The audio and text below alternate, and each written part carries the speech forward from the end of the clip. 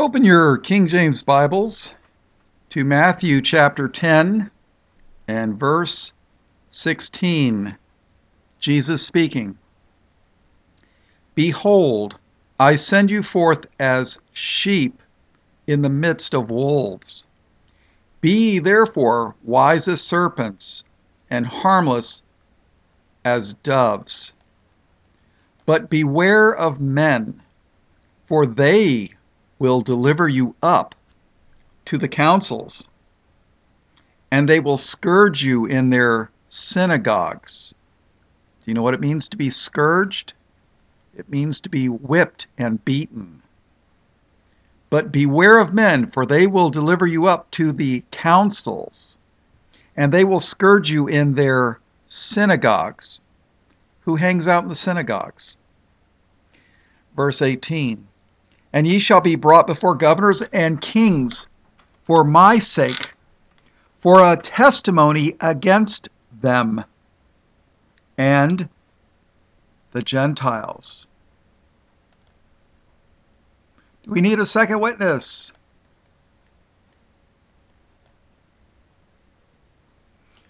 Mark 13. Mark 13 is the parallel account of Matthew 24. Matter of fact, let's take a look and read the whole thing. Okay, Mark 13, verse 1. And as he, this is Jesus, and as he went out of the temple, one of his disciples saith unto him, Master, see what manner of stones and what buildings are here? And Jesus answering said unto him, Seest thou these great buildings? There shall not be left one stone upon another that shall not be thrown down. And that was fulfilled in 70 AD when the Roman army under General Titus came and destroyed the rebellion by the Jews in Jerusalem and absolutely destroyed the temple. So I've mentioned it many times in previous studies, but I got to say it again because I never know if this is a new listener listening to this.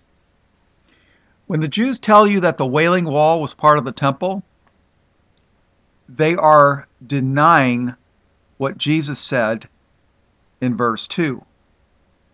There shall not be left one stone upon another that shall not be thrown down. You have a choice. You're going to believe Jesus or you're going to believe the Jews with their thrusting pelvis at the wailing wall. So, all right, let's read the parallel account in Matthew 24 real quick. Verse 1. And Jesus went out and departed from the temple, and his disciples came to him for to show him the buildings of the temple. And Jesus said unto them, See ye not all these things? Verily I say unto you, there shall not be left here one stone upon another that shall not be thrown down. And as he sat upon the Mount of Olives, Jesus sat upon the Mount of Olives. This is where he's coming back one day. And as he sat upon the Mount of Olives, disciples came unto him privately, saying, Tell us, when shall these things be, and what shall be the sign of thy coming and of the end of the world. So they're asking, what's going to be the sign of your coming and of the end of the world? Well, Jesus is right there. He hasn't left yet. And yet they're asking, what's going to be the sign of your coming and of the end of the world?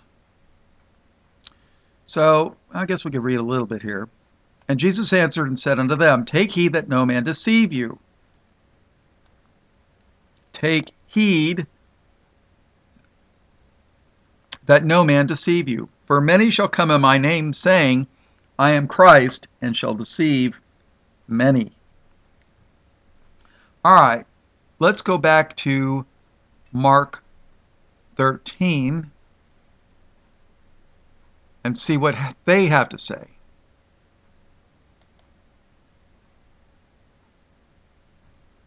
All right, so, so the uh, Matthew 24, most probably one of the most famous end time verses in the uh, chapters in the Bible is paralleled in 13. Okay, so let's see.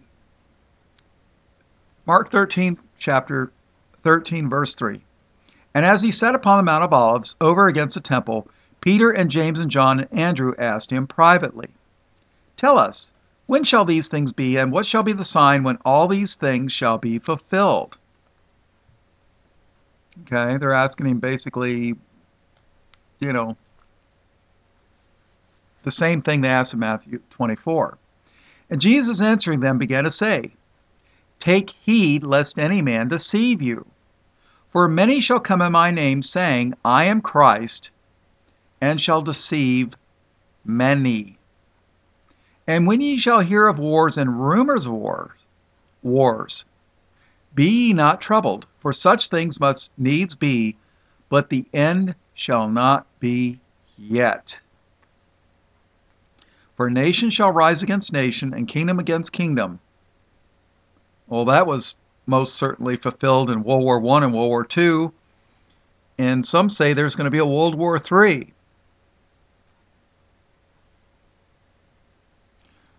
Uh, and there shall be earthquakes in divers places. Oh, there's been a lot of earthquakes lately. And there shall be famines and troubles. You know, people, let me tell you what, when Jesus warns that there's going to be famines, be a good idea to listen to him, you know? Prepare a little bit. And there shall be famines and troubles. These are the beginnings of sorrows. But take heed to yourselves, for they shall deliver you up to councils, and in the synagogues ye shall be beaten. Ooh. For they shall deliver you up to councils, and in the synagogues ye shall be beaten. And in the synagogues ye shall be beaten, and ye shall be brought before rulers and kings for my sake for a testimony against them. And the gospel must first be published among all nations. But when they shall lead you and deliver you up, take no thought beforehand what ye shall speak. In other words, you know, when they take you, don't don't don't worry about what you're going to say. Okay? Neither do ye premeditate, for whatsoever shall be given you in that hour, that speak ye, for it is not ye that speak, but the Holy Ghost. So keep your mind blank. Don't think about what you're going to say. The Holy Ghost will speak through you. And I tell you what, people, that that is 100% proof you're saved. When when words come out of your mouth that you didn't say, that's proves you're been born again of the Spirit. Now the brother shall betray the brother to death, and the father to the son, and children shall rise up against their parents, and cause them to be put to death. And ye shall be hated of all men for my name's sake, but he that endureth, but he that endure unto the end, the same shall be saved. All right, let's take a look at Luke chapter 12. And verse 9 But he that denieth me before men shall be denied before the angels of God. So, if you deny Christ to save your life, when you meet Christ, you're going to be denied before the angels of God. Not a good thing. You don't want to hear these words. I never knew you. You don't want to hear those words from Christ's mouth. But he that denieth me before men shall be denied before the angels of God. And whosoever shall speak a word against the Son of Man, it shall be forgiven him. Praise the Lord, because I tell you what, I spoke a word against Christ when I was a teenager and fell away. But I wasn't so much blaspheming him as I was the uh, fake churches that I didn't understand back then. And whosoever shall speak a word against the Son of Man, it shall be forgiven him. But unto him that blasphemeth against the Holy Ghost, it shall not be forgiven. And when they bring you unto the synagogues and unto magistrates and powers, take ye no thought how or what thing ye shall answer, for what ye shall say, for the Holy Ghost shall teach you in the same hour what ye ought to say. All right, turn to John chapter 16. These things have I spoken unto you, that ye should not be offended. They shall put you out of the synagogues. Yea, the time cometh that whosoever killeth you, that whosoever killeth you will think that he doeth God service.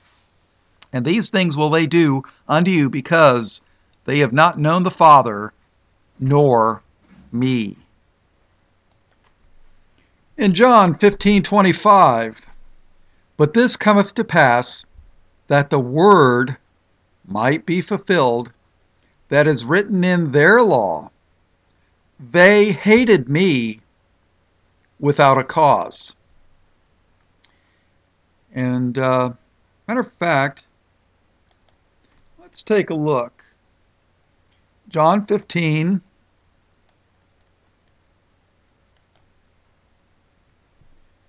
In verse 16. John chapter 15, verse 16. Jesus speaking, Ye have not chosen me, but I have chosen you and ordained you, that ye should go forth and bring forth fruit, and that your fruit should remain, that whatsoever ye shall ask of the Father in my name. You ever wonder why they always want to change it to Yeshua? The name of Jesus? My Bible says Jesus, and the Greek New Testament was written in Greek. That's says Jesus. Maybe they don't want your prayers to be answered that whatsoever ye shall ask of the Father in my name, he may give it to you. These things I command you, that ye love one another. If the world hate you, ye know that it hated me before it hated you. If ye were of the world, the world would love his own. But because ye are not of the world, but I have chosen you out of the world. Therefore the world hateth you. This is not the Bible study that I was going to do. Uh, I mean, it, it's along the same lines. The uh, Jewish Jesuit connection. But in the BBC News, and if you want the link, I have the link in the description below the uh, on this uh, on this Bible study. And I got some links. You could take a look at it. And you could look it up yourself so that you don't think I'm telling you a lie. But the, uh, let's see, BBC News, the British Broadcasting Corporation, or uh, the B could stand for blind. But the headline is Anti Semitism. Official definition will fight hatred. Ooh. So let's read some excerpts.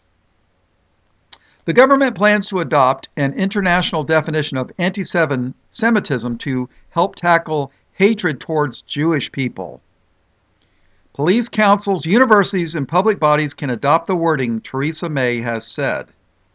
The International Holocaust Remembrance Alliance, which the UK belongs to, created the definition. Ooh. Do you know that you can go to prison in many foreign countries for saying, How could six million Jews have died in the Holocaust?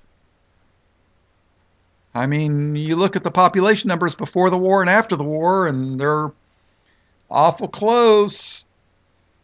Oh, that just got me banned in France, Germany, England, uh, and a bunch of other countries.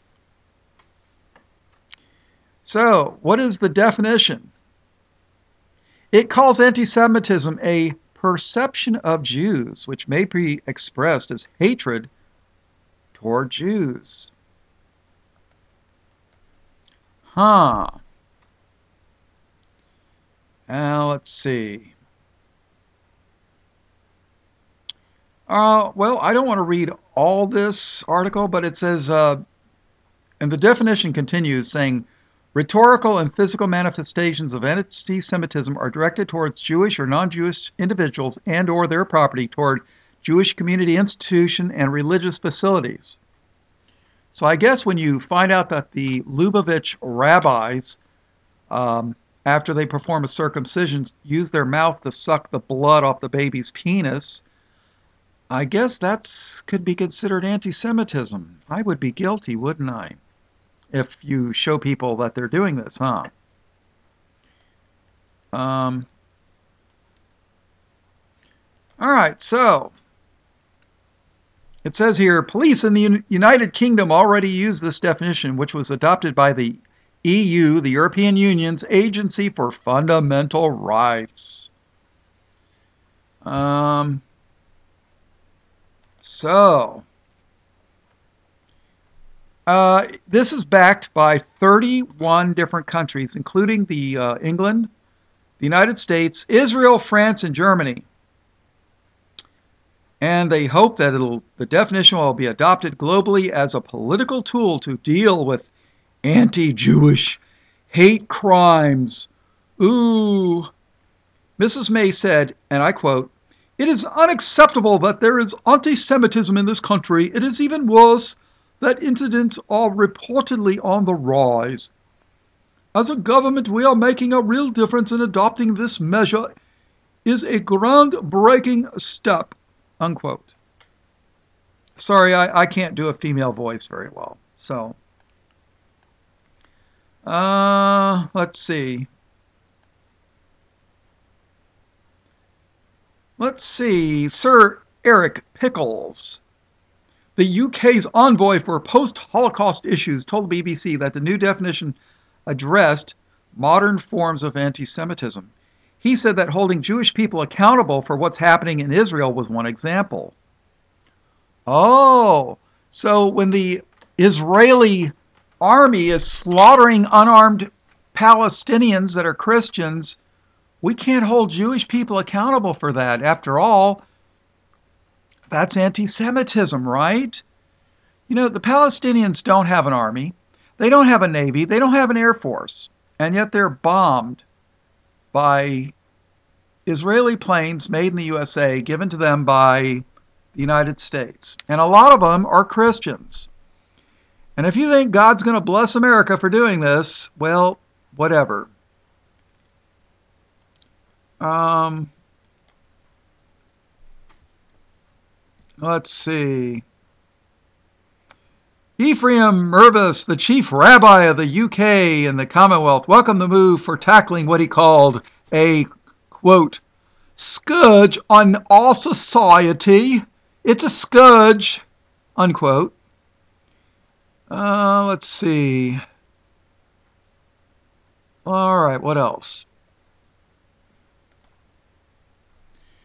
Do you realize that every single pre trib rapture believing so called church will tell you that Mark chapter 13 and Matthew 24, the ones that I just read, where it says you'll be taken up to the synagogues to be beaten, they, they'll tell you, oh, well, that's, that doesn't apply to us. We're New Testament Christians. That's for the unbelieving Jews that come to Jesus in the end times. I'm like, what? Matthew 24 and Mark 13, Jesus is talking to believers in Him. I mean, He says, You're going to be taken up to the synagogues. I mean, every single pre trib rapture preacher will tell you, well, that doesn't apply to us because we're not going to be here when all this happens. Really? So Jesus is talking to unbelievers who become believers in the futures. In the future, really? Uh, we'll see. Okay. All right, let's go to the Oh, one more thing. I just did a Google search, and you could do the same thing.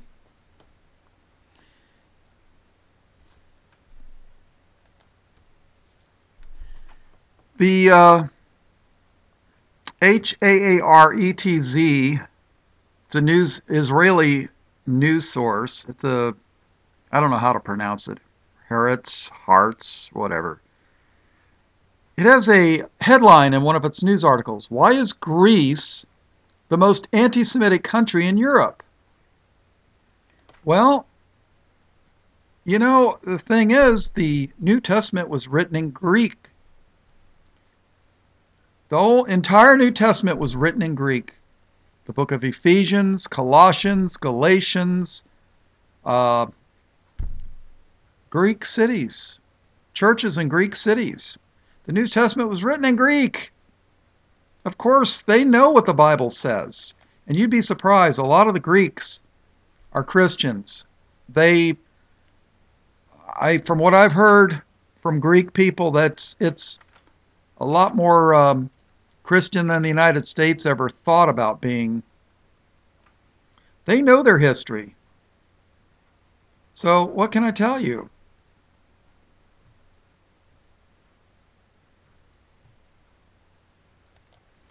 And yes, I have a link to the article so that you can read it yourself. It's in the description of the video. All right, so let's take a look. Let's take a look at the Jewish Encyclopedia. The article is Jesus of Nazareth. The sub paragraph is in Jewish legend. And I'm going to quote. So if I mispronounce the words, that doesn't take away from what they're saying. Now, this is Jesus from a Jewish non believing perspective.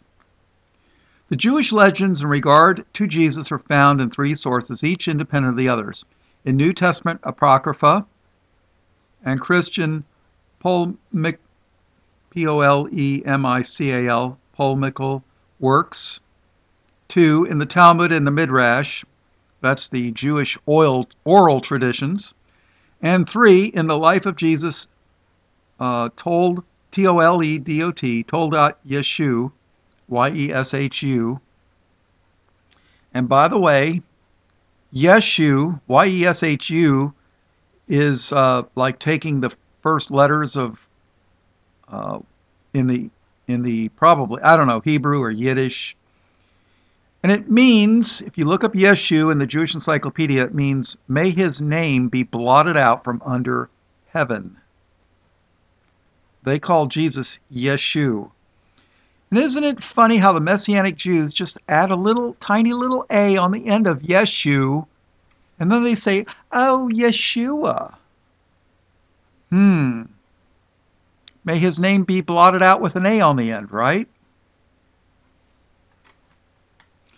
And in the life of Jesus told out Yeshu that originated in the Middle Ages. It is the tendency of these sources to be to belittle the person of Jesus by ascribing to him illegitimate birth, magic, and a shameful death. So here it is. The um, the Jews say that Jesus had an illegitimate birth, not the Holy Ghost, that's for sure. Magic. Uh, see, that, that's the thing. The Jews admit that Jesus performed miracles. They just say that he did it by magic, by Kabbalah. And a shameful death. In view of their general characteristic, they are called indiscriminately legends. Some of the statements as that referring to magic are found among pagan writers and Christian heretics, such as the Ebionites or Judeo Christians, who for a long time lived together with the Jews, are also classified as heretics. So, Judeo Christians, according to the Jewish Encyclopedia, are also classified as heretics. Conclusions may be drawn from this as to the origins origin of these legends. Uh, it ought also to be added that many of the legends have a theological background. For Paul Michael polemical purposes, it was necessary for the Jews to insist on the illegitimacy of Jesus as against the Davidic descent claimed by the Christian church. Magic may also have been ascribed to him over against the miracles recorded in the Gospels and the degrading fate both on earth and hereafter of which the legends speak may be simply directed against the ideas of the assumption and the resurrection of Jesus.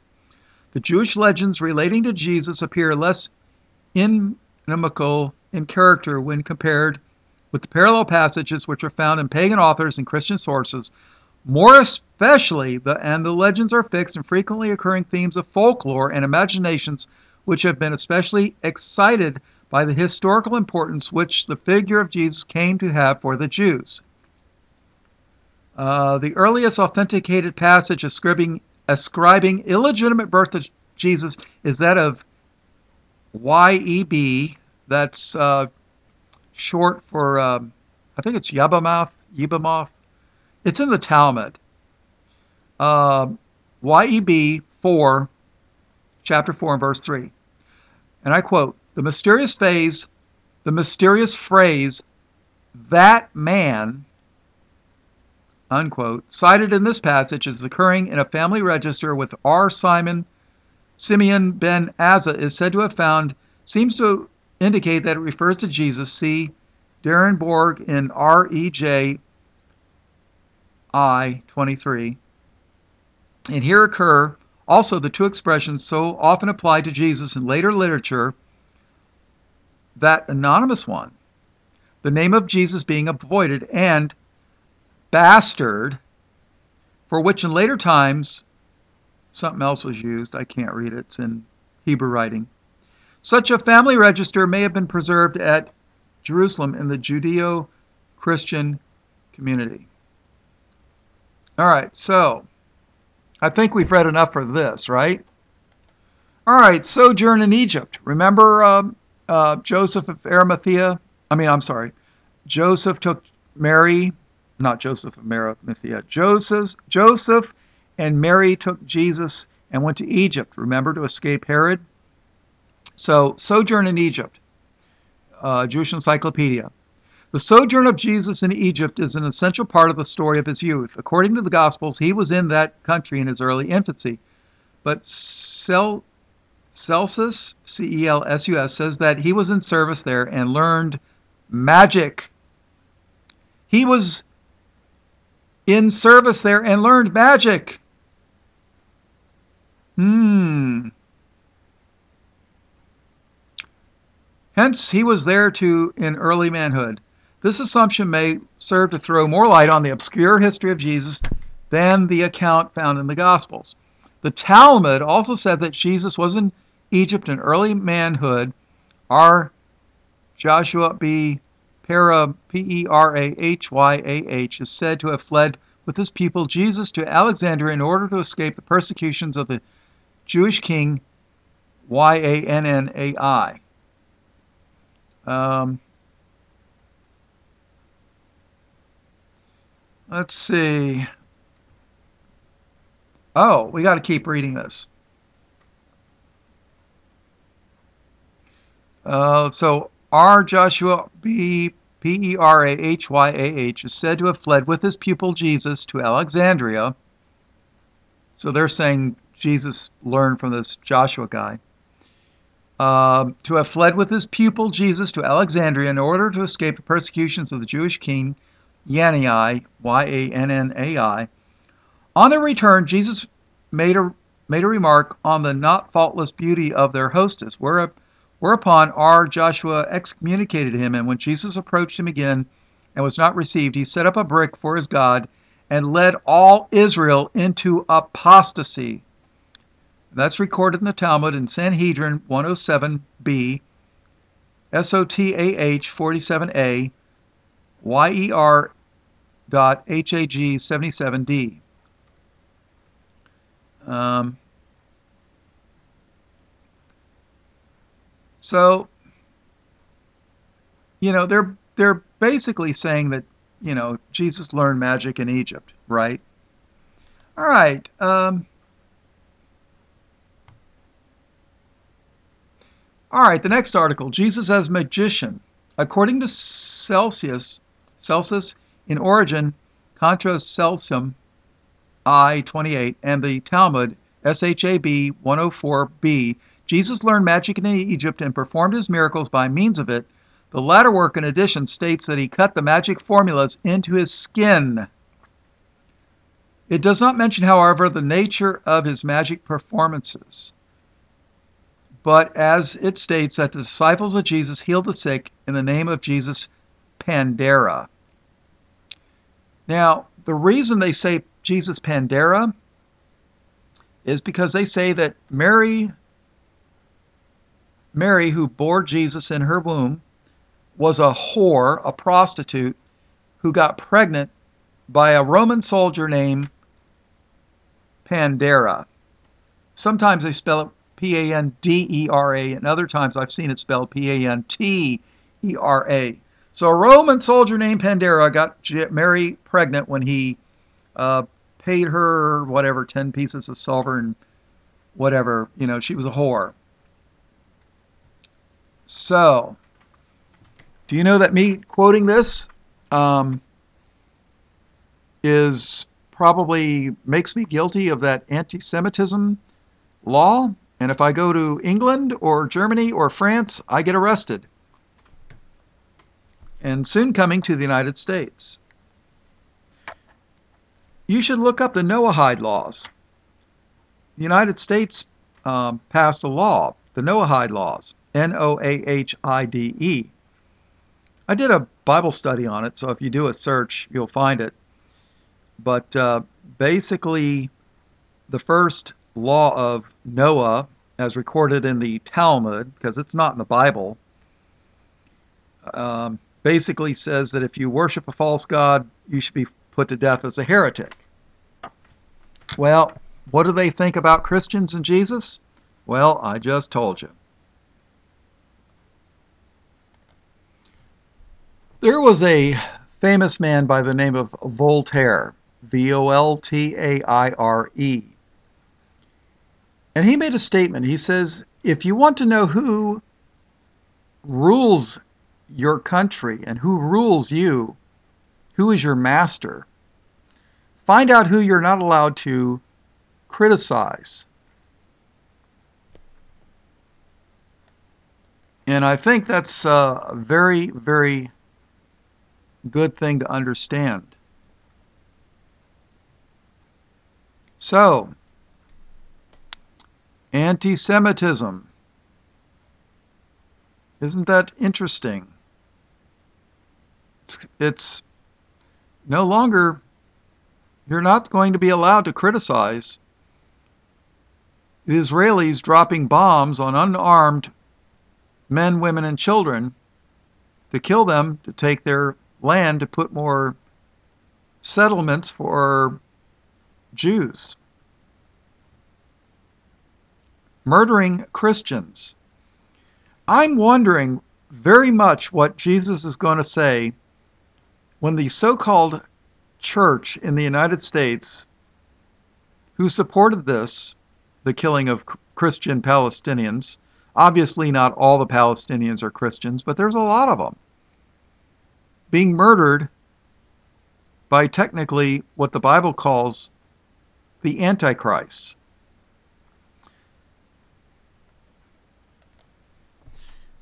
Those that listen to me on a regular basis, I'm I I apologize if it seems like I preach on the same stuff over and over, but I have to make the assumption that there are new listeners. All right, let's take a look at what the Bible says about Jerusalem. We'll just read a few quick verses here. Isaiah chapter 3 and verse 8. For Jerusalem is ruined, and Judah is fallen, because their tongue and their doings are against. Because their tongue and their doings are against the Lord, to provoke the eyes of his glory. Jeremiah 4:14 O Jerusalem wash thine heart from wickedness that thou mayest be saved. How long shall thy vain thoughts lodge within thee? Jeremiah 8 and verse 5 Why then is this people of Jerusalem slidden back by a perpetual backsliding? They hold fast deceit. They refuse to return. Now, listen to this. Uh, the Lord got angry with Jerusalem because they were so evil and wicked. Jeremiah 9:11, and I will make Jerusalem heaps and a den of dragons. Who's the dragon?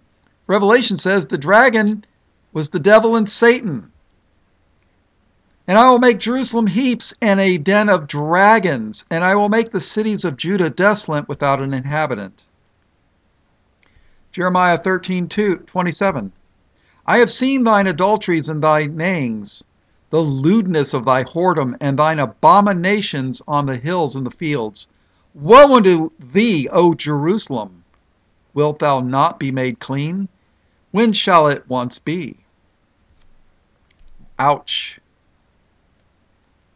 And everybody says, oh, Jerusalem, that's the city of the Lord. Well, yeah, it is, but the you know, this is the bad stuff, right? Jeremiah 19.3 And say, Hear ye the word of the Lord, O kings of Judah, inhabitants of Jerusalem. Thus saith the Lord of hosts, the God of Israel. Behold, I will bring evil upon this place, the which whosoever heareth his ears shall tingle. Jeremiah 23:14 I have seen also in the prophets of Jerusalem an horrible thing. They commit adultery and walk in lies. They strengthen also the hands of evildoers, that none doth return from his wickedness. They are all of them unto me as Sodom, and the inhabitants thereof as Gomorrah. Book of Lamentations 1 8. Jeremiah hath, I'm sorry, um, the Lamentations of Jeremiah, chapter 1, verse 8. Jerusalem hath grievously sinned. Therefore she is removed. All that honored her despise her, because they have seen her nakedness. Yea, she sigheth and turneth backwards. You tired of hearing about Jeremiah? How about Ezekiel? Chapter 16 and verse 2. Son of man, cause Jerusalem to know her abominations. You know, there's a difference between sin and abominations. I mean, there's not very many things that the Lord calls abominations.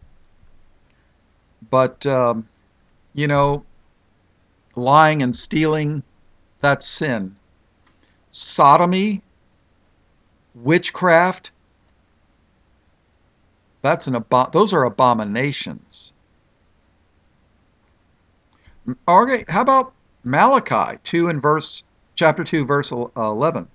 Judah hath dealt treacherously, and an abomination is committed in Israel and in Jerusalem.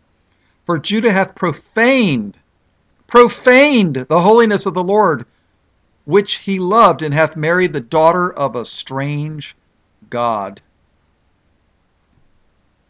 How about Revelation chapter 11, verse 8? Talking about the two witnesses that come to Jerusalem, the two witnesses of the Lord. And their dead bodies shall lie in the street of the great city, which spiritually is called Sodom and Egypt, where also our Lord was crucified. Huh. The great city, which spiritually is called Sodom and Egypt, where also our Lord was crucified. I don't know about you, but my Lord, Jesus, who is the Christ, was crucified in Jerusalem. So, and it's spiritually called Sodom and Egypt. Matthew 23 37. Oh, Jerusalem, Jerusalem, thou that killest the prophets, thou that killest the prophets, and stonest them which are sent unto thee, how often would I have gathered thy children together, even as a hen gathereth her chickens under, under her wings, and ye would not. All right, so you can get in trouble for anti Semitism for criticizing what the Israelis are doing to the Christian Palestinians or go to prison. You can go to prison in many countries in Europe for questioning the six million Holocaust thing. But if you want to point out all the Catholic priests that have been sodomizing the altar boys, you can't get in trouble for that, can you? Not in the United States, not in Germany, not in France, not in England. Why is that? Everybody tells me, oh, oh, it's Rome. Rome's the Catholic, the Roman Catholic Church and the Pope. That's the, um, they're the ones that run everything in the world. Really? Really? They run the banking system with names like Goldberg and Silverstein and Cohen? Really? Let's see what the Bible says about Rome. Romans chapter 1, King James Bible. Paul, verse 1. Paul, a servant of Jesus Christ, called to be an apostle, separated unto the gospel of God, which he had promised afore by his prophets in the Holy Scriptures concerning his Son, Jesus Christ, our Lord, which was made of the seed of David according to the flesh. Isn't it amazing? All the Antichrist Messianic so called Jews will tell you Paul's a false apostle. Does this sound like false apostle? He says, a servant of Jesus Christ, called to be an apostle, separated unto the gospel of God, Holy Scriptures, his Son Jesus Christ our Lord, seed of David according to the flesh. Verse 4 And declared to be the Son of God with power according to the Spirit of holiness. Spirit of holiness by the resurrection from the dead, by whom we have received grace and apostleship. Grace and apostleship for obedience to the faith among all nations for his name among whom are ye also called the called of Jesus Christ. Yeah, it sounds like a really false apostle, doesn't it? Talks about grace, resurrection, holiness, faith, the gospel, and he says Jesus Christ. Yeah, this is why they hate Paul. Let's read Romans chapter 1 and verse 7. Well, let's read 6. Among whom are ye also the called of Jesus Christ, to all that be in Rome, to all that be in Rome, beloved or beloved, beloved of God, to all that be in Rome, beloved of God, called to be saints, grace to you and peace from God our Father and the Lord.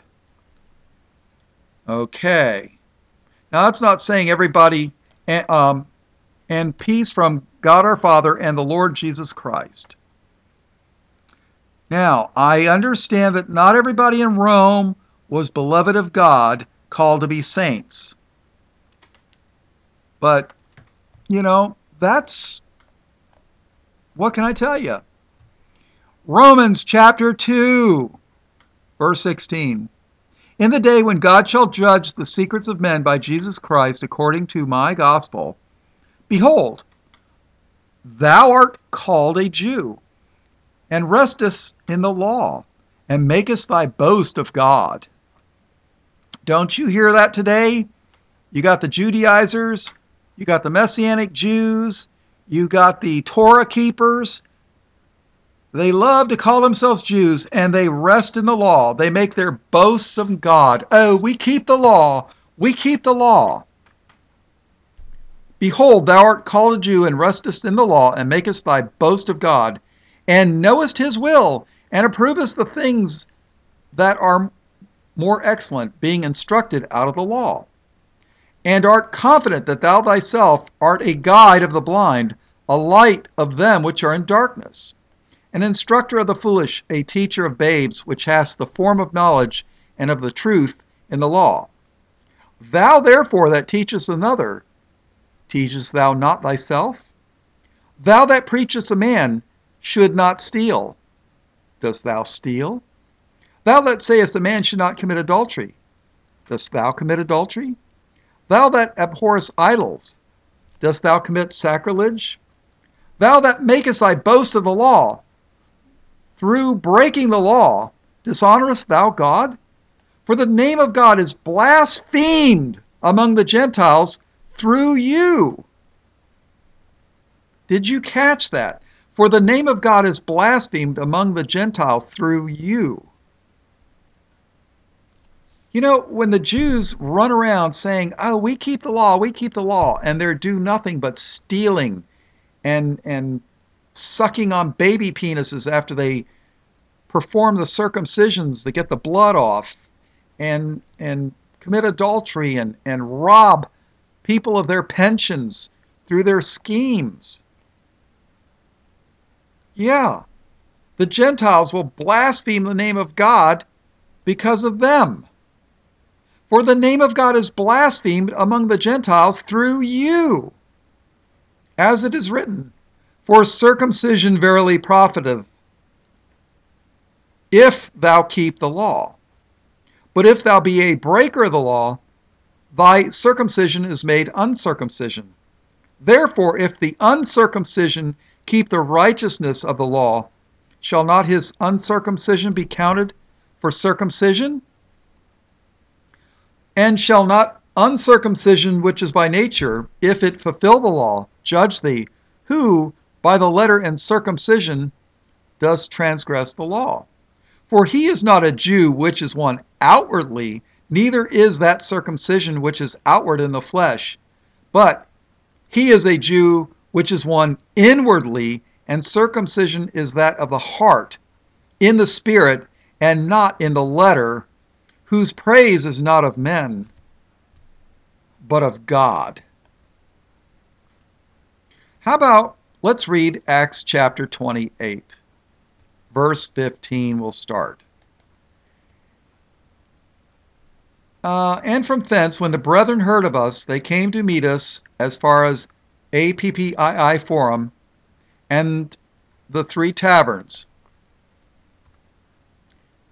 whom, when Paul saw, he thanked God and took courage. And when we came to Rome, the centurion delivered the prisoners to the captain of the guard, but Paul was suffered, or allowed, but Paul was suffered to dwell by himself with a soldier that kept him. And it came to pass that after three days Paul called the chief of the Jews together, and when they were come together, he said unto them, Men and brethren, though I have committed nothing against the people, or the customs of our fathers, yet was I delivered prisoner from Jerusalem into the hands of the Romans. Huh. He was delivered prisoner from Jerusalem into the hands of the Romans. Verse 18 who, we're talking about who? The Romans, who, when they examined me, would have let me go because there was no cause of death in me. But when the Jews spake against it, I was constrained to appeal unto Caesar. But when the Jews spake against it, I was constrained to appeal unto Caesar.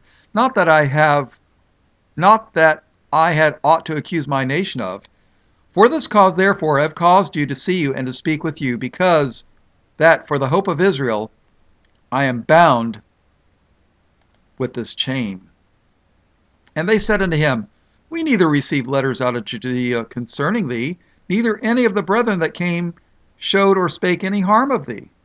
But we desire to hear of thee what thou thinkest, for as concerning this sect, what sect? The Christians.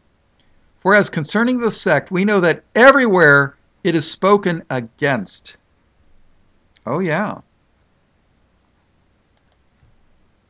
Yeah, concerning the sect, they're spoken against.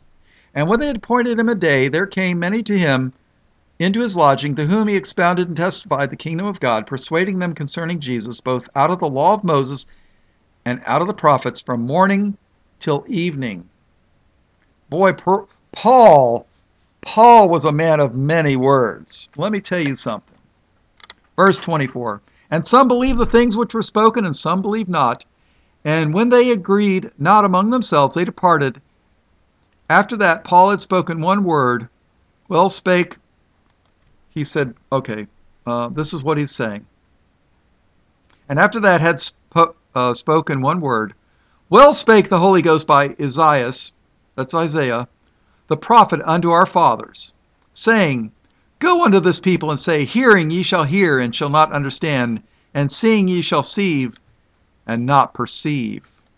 For the heart of the people is waxed gross, and their ears are dull of hearing, and their eyes have they closed, lest they should see with their eyes and hear with their ears and understand with their heart, and should be converted, and I should heal them. Be it therefore, oh, I'm sorry, be it known therefore unto you that the salvation of God is sent unto the Gentiles, and that they will hear it. And when he had said these words, the Jews departed and had great reasoning among themselves. And Paul dwelt two whole years in his own hired house, and received all that came in unto him, preaching the gospel, I'm sorry, preaching the kingdom of God, and teaching those things which concern the Lord Jesus Christ with all confidence, no man forbidding him. Oh, yeah. All right, let's take a look at uh, just a couple verses. Who killed the prophets and the saints? Revelation 18:24. And in her, mystery Babylon, and in her was found the blood of prophets and of saints and of all that were slain upon the earth. Revelation 16:6. For they have shed the blood of saints and prophets, and thou hast given them blood to drink, for they are worthy. Okay? Revelation 17 and verse 6. And I saw the woman drunken with the blood of the saints, with the blood of the martyrs of Jesus. And when I saw her, I wondered with great admiration. So, Babylon, Mystery Babylon killed the prophets. I mean, that's what the book of Revelation says, right? The prophets. Jesus speaking in Luke 13:33. I think Jesus and the Bible should be our authority and interpret the Bible. The Bible interprets the Bible. I haven't read Rome anywhere yet, have you? Jesus speaking Luke 13:33 Nevertheless I must walk I must walk today and tomorrow and the day following for it cannot be that a prophet perish out of Jerusalem. Huh. For it cannot be that a prophet perish out of Jerusalem? And Mystery Babylon killed the prophets? Uh, when I took algebra in college, if A equals B equals C, um, if Babylon killed the prophets and Jerusalem killed the prophets, that means Jerusalem has to be Babylon? But wait a minute, I've always been told it was Rome, or is it Mecca, or is it New York City, or is it London, or whatever. How about Jesus in Matthew 23 37? O Jerusalem, Jerusalem, thou that killest the prophets and stonest them that are sent unto thee, how often would I have gathered thy children together, even as a hen gathereth her chickens under her wings, and ye would not? Behold, your house is left unto you desolate. O Jerusalem, Jerusalem, thou that killest the prophets? Huh. How about Paul? 1 Thessalonians chapter 2 and verse 14 through 16. This is why they hate Paul. For ye, brethren, became followers of the churches of God which in Judea are in Christ Jesus. For ye also have suffered like things of your own countrymen, even as they have of the Jews. Even as they have of the Jews, who both killed the Lord Jesus and their own prophets even as they have of the Jews, who both killed the Lord Jesus and their own prophets, and have persecuted us, and they please not God, and are contrary to all men. And they please not God, and they please not God, and are contrary to all men, forbidding us to speak to the Gentiles that they might be saved, to fill up their sins always for the wrath is come upon them to the uttermost. Do you know that God's wrath is upon the Jews? Can you show me from the Bible where Rome or Islam killed the prophets? Uh, no. Well, you know, and if you don't believe, you know, the Bible, what can I tell you? It wasn't Rome that killed the prophets. The prophets were sent to Jerusalem and Israel and Judah. Now, I think I'm going to um, do a more in-depth study. This is going to be part two, I guess. I'm not sure what to call this. Um, the Jewish Jesuit connection or anti-Semitism, whatever. Um, but I'm planning on retiring soon. I would like to retire from my job. I'm not eligible for Social Security for over a year, early Social Security. And I'm going to get a very small pension from work, probably about 40% of what I'm making now. But they want to uh, change my hours and make me work midnights. And I just, I'm getting too old to be doing this. And I think what I'm going to do is take my pension, my small pension, and retire from there. Hopefully, Social Security will still be around in a, over a little over a year when I collect early Social Security. Then I'll be in pretty good shape for as long as the economy lasts. But I'm going to probably try to get another job at uh, full time or part time or whatever during more reasonable hours than working midnights. They actually want me to work 12 hour shifts all night. I mean, really, you know, 12 hour shifts working midnights. I just I'm getting too old for that. So you know I want to do I'd like to do uh, trust in the Lord and do some more Bible studies. And you know if I'm working those kind of crazy hours, I'm not going to be able to do many Bible studies. It takes a lot of uh, research for me to do these. It really does. And um, so I might do a like a GoFundMe thing, and and and if any of you want to you know, help me and contribute so I can do stuff more full time. Uh, I'll probably put it up soon, so you know, I, would appreciate it. I've been doing this for years, and I've never, never asked for um, donations, but I might need to. I, I, I might really need to, at least until I can get another job or, or whatever. But if any of you want to help me out, that would be great. It'd be greatly appreciated. Um, but, you know, the Bible, Jesus said, freely ye have received, freely give. And all these people on TBN and 700 Club that uh, buy my book, A Praise of Jesus. It's only 19.95 and plus shipping and handling. A Praise of Jesus, and I'll tell you the gospel story. Uh, just unbelievable, you know. I just, I just can't do that. Everything that I put out is uncopyrighted. All glory to Jesus. What can I tell you? All right, so I guess it's going to be part two. Um, I might post this twice. You never know. All right, well, all blessings, praise, glory, and honor to Jesus, who is the Lamb of God, slain before the foundation of the world. In his precious name. In John 8:12 Jesus said, "I am the light of the world. He that followeth me shall not walk in darkness, but shall have the light of life." It's Chaplain Bob signing off. Amen.